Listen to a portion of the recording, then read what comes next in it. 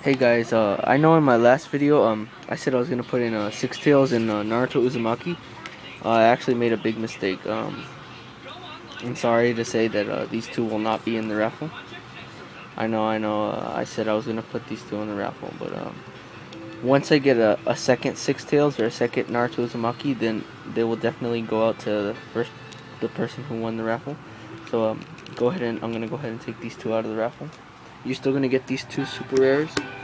Um, they're just gonna be uh, put into uh, first place winners rewards, and um, so uh, gonna go ahead and switch around. So, so um, actually, I think each one, each winner will get at least will get at least one super rare, but um, but uh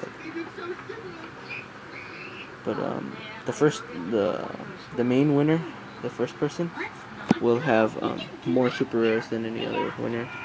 Uh, the winner of the raffle, the first uh, winner of the raffle will get um, these five cards. Second winner will get these five cards. And the third winner will get these cards. So um, it's a win for every single winner. Uh, so I, I wanted to make it uh, fair. Uh, again, first winner is going to get a lot of super rare. Second we'll get one super rare. And third we'll get one super rare also. So, uh, yeah. Sorry again. Uh, putting these two in the raffle were a mistake, so I took those out of the raffle.